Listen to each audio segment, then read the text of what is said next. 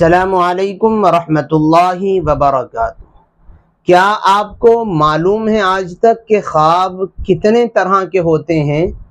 اور ان میں سے کون سے خوابوں کی تعبیر ہوتی ہے اور کون سے خواب سچے ہوتے ہیں؟ آئیے آج آپ کو بہت آسان زبان میں ہم یہ سمجھاتے ہیں کہ خواب کتنی کوالٹی کے ہوتے ہیں، کتنی طرح کے ہوتے ہیں، خواب کی کتنی قسمیں ہیں اور اس میں سے کون سے خوابوں کی تعبیر ہوتی ہے، کون سے خواب سچے ہوتے ہیں؟ معبرین نے تعبیر بیان کرنے والوں نے تعبیر کے ماہرین نے بیان کیا ہے کہ خواب تین طرح کے ہوتے ہیں۔ ایک خواب وہ ہیں کہ جو نفس کے خیالات ہوتے ہیں۔ نفس کے خیالات کا مطلب یہ ہے کہ انسان دن بھر جن کاموں میں مصروف رہتا ہے بزی رہتا ہے، جن کاموں میں لگ کر کے اس کا پورا دن گزرتا ہے، وہی کام اور وہی خیالات کبھی کبھی خواب بن کر رات کو سوتے ہوئے بھی نظر آتے ہیں۔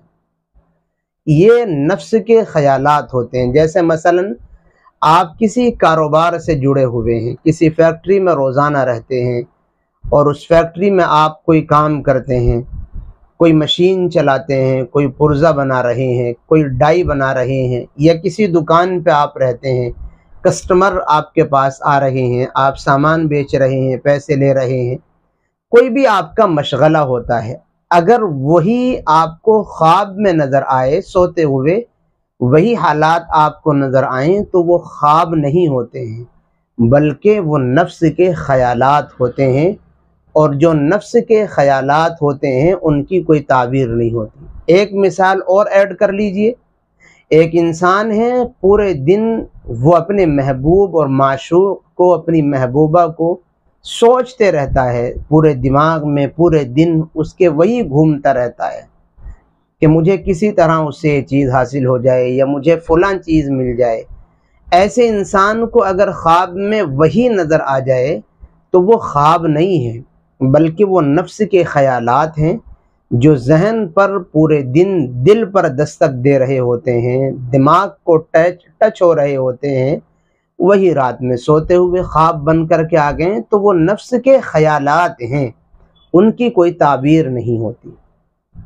وہ نفس جن چیزوں میں مگن اور مصروف رہتا ہے، وہ سوتے ہوئے خواب کی شکل میں نظر آ گئے۔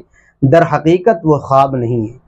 تو پہلی قسم خواب کی نفس کے خیالات۔ جن چیزوں میں آدمی اپنے آپ کو مصروف رکھتا ہے، وہ سوتے ہوئے خواب بن کر کے آ جائیں تو ان کی کوئی تعبیر بھی نہیں، وہ خواب بھی نہیں ہے بلکہ وہ ہیں نفس کے خیالات۔ دوسری قسم ہے ڈراؤنے خواب۔ ڈراؤنے خواب کیا ہیں؟ یہ ڈراؤنے خواب شیطانی اثرات کا نتیجہ ہوتا ہے۔ نفس اور شیطان انسان کے اوپر جب غالب آ جاتا ہے، تو وہ اس کے سامنے طرح طرح کی شکلیں بنا کر کے، طرح طرح کے روپ اپنا کر کے آتا ہے تاکہ وہ انسان کو گمراہ کر سکے۔ جیسے انسان کو جاگتے ہوئے شیطان گمراہ کرنے کی کوشش کرتا ہے، اس کو بھٹکاتا ہے ویسے ہی ڈراؤنی اور بھیانک سنگین خطرناک شکل و شباہت اختیار کر کے وہ رات کو انسان کے خواب میں آتا ہے تاکہ وہ اس کو بھٹکا سکے، گمراہ کر سکے اور اس کو ڈرا سکے۔ کبھی موزی جانور کی شکل میں آئے گا، کبھی کسی اور شکل و شباہت اور صورت میں آئے گا۔ لیکن وہ انسان کو ڈرانے کے لیے شیطانی اثرات ہوتے ہیں، شیطانی خیالات ہوتے ہیں جو انسان کے نفس اور دماغ پر غالب ہو کر کے شیطان انسان کو بھٹکانا چاہتا ہے، گمراہ کرنا چاہتا ہے۔ تو جو ڈراؤنے خواب ہوتے ہیں، وہ بھی شیطان کے اثرات سے، شیطان کی وجود سے اور شیطان کے عمل دخل سے نظر آتے ہیں۔ ان کی بھی کوئی تعبیر نہیں ہوتی۔ اور نہ وہ خواب ہوتے ہیں، شیطان کا عمل دخل ہوتا ہے اس میں۔ حدیث پاک میں ایسے خوابوں کی سے اور ڈراؤنی شکل و صورت والے، شباہت والے خواب سے بچنے کا عمل تو بتایا گیا، ان کی تعبیر نہیں بتائی گئی۔ حضور صلی اللہ علیہ وسلم نے ایک حدیث پاک میں ارشاد فرمائے کہ اگر تمہیں ڈراؤنے، بھیانک، سنگین، خطرناک قسم کے خواب نظر آئیں تو پھر تمہیں یہ دعا پڑھنی چاہیے، اعوذ بکلمات اللہ التامات من غضبه وعقابه ومن شر عباده ومن حمزات الشیاطین وان يحضرون جب آنکھ کھلے، آپ اس دعا کو پڑھ لیں اور یہ نہ پڑھ سکتے ہوں، پوری اعوذ باللہ من الشیطان الرجیم پڑھ لیں۔ سونے سے پہلے پڑھ کر کے سو جائیں تو پھر یہ شیطانی خواب، ڈراؤنے خواب انشاءاللہ آپ کو نظر نہیں آئیں گے۔ تو پہلی قسم نفس کے خیالات اور دوسرے شیطانی اثرات۔ اور تیسری قسم خواب کی ہے جو اللہ کی جانب سے بشارت اور خوشخبری ہوا کرتے ہیں، جن کو مبشرات کہا جاتا ہے۔ اللہ تعالیٰ اپنے خاص بندوں کو کبھی کبھی خواب میں یہ دکھلا دیتا ہے کہ تمہارے ساتھ آئندہ یہ اللہ بھلائی کرنے والا ہے۔ تمہارے ساتھ یہ خوشی پیش آنے والی ہے۔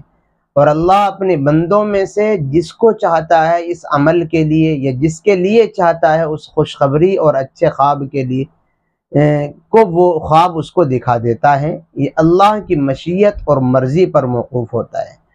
البتہ اچھے خواب جن کو نظر آتے ہیں، ان کے اندر چند خوبیاں ہوتی ہیں۔ نیک ہوتے ہیں، پاک رہنے والے ہوتے ہیں۔ گناہوں سے باز رہتے ہیں اور ان کی زبان اللہ کی ذکر سے تر و تازہ رہتی ہے۔ گناہوں سے اپنے آپ کو دور کرنے والے ہوتے ہیں۔ تو جو لوگ ایسے ہوتے ہیں، ان کو مبشرات نظر آتے ہیں۔ بشارت دینے والے، خوشخبری پہنچانے والے خواب نظر آتے ہیں۔ تو اور انہی خوابوں کی کوئی تعبیر بھی ہوتی ہے۔ جو اللہ کی جانب سے مبشرات اور خوشخبری دینے والے خواب ہوتے ہیں، انہی کی تعبیر بھی ہوتی ہے۔